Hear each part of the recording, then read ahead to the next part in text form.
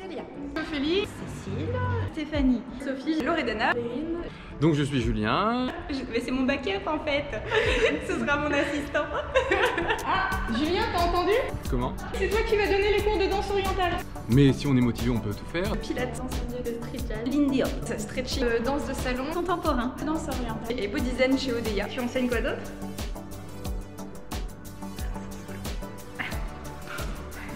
Danse solo. Faut pas se dire qu'on n'a pas dansé quand on était petit et qu'on arrive en tant qu'adulte. euh, Non, pas du tout. Tout le monde est le bienvenu, tout âge, homme, femme.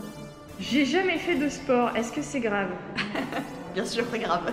L'important, c'est de, de- c'est une expression corporelle qui permet vraiment de libérer à la fois euh, le poids euh, du corps, hein, euh, ou ça peut être un, un morceau du corps. J'ai vu une vidéo YouTube où la dame elle disait il faut parler pour être Ouais, pour que ce soit vivant.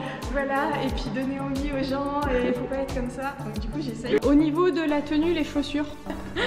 C'est ce dont je suis pas prête pour cette question. Euh, avec des vêtements, bien évidemment.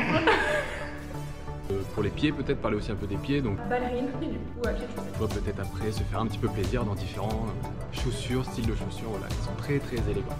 Et du coup, si je sais pas choisir entre les trois, Mais il faut faire les trois. J'adore me faire couper. ah, t'es grand. Attends, je baisse le bras parce que j'ai 30. Euh, pour qu'il puisse après s'améliorer et je me suis ratée. Ok. Personne qui va me recoudrer le nez euh, comme ça entre deux. N'oubliez pas, oui, il faut, faut s'inscrire sur le formulaire d'inscription.